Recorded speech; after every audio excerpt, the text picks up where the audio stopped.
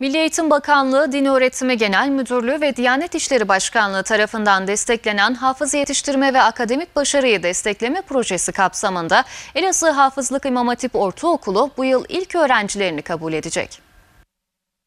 Milli Eğitim Bakanlığı Din Öğretimi Genel Müdürlüğü ve Diyanet İşleri Başkanlığı tarafından desteklenen Hafız Yetiştirme ve Akademik Başarıyı Destekleme Projesi kapsamında Elazığ'da açılan Elazığ Hafızlık İmam Hatip Ortaokulu 2021-2022 eğitim öğretim yılında ilk öğrencileriyle de buluşmuş olacak. Konuyla ilgili olarak yazılı bir açıklama yapan Milli Eğitim Müdürü Feyzi Gürtürk, ilimize bu yıl kazandırdığımız Elazığ Hafızlık İmam Hatip Ortaokulu bir proje okuludur. Milli Eğitim Bakanlığı özel program ve proje uygulayan Başlayan Eğitim Kurumları Yönetmenliğine göre bu okulumuza seçerek öğrenci alınacaktır. Bu kapsamda 27 Haziran tarihinde 4. sınıf müfredatından 75 soruluk bir sınav yapılacak ve sınav sonucunda 100 öğrencimiz belirlenecektir. Sınavı kazanan bu öğrencilerimiz Temmuz ve Ağustos ayında 8 haftalık temel hafızlığa hazırlık eğitimine alınacak, eğitim sonrasında ise başarılı 72 öğrencinin kesin kaydı okulumuza yapılacaktır. Sınav başvuruları ise 24 Mayıs tarihinde başlamış olup 24 Haziran tarihine kadar devam edecektir.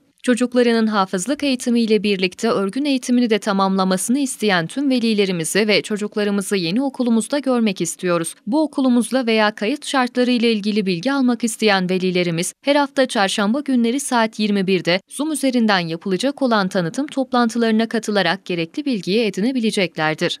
Toplantıyla ilgili bilgiler müdürlüğümüzün sosyal medya hesaplarında yer alacak olup velilerimiz bilgilere buradan ulaşabileceklerdir. Bu kapsamda şehrimize kazandırdığımız Elazığ Hafızlık İmam Hatip Ortaokulu'nun ilimize ve ülkemize hayırlı olmasını diliyorum dedi.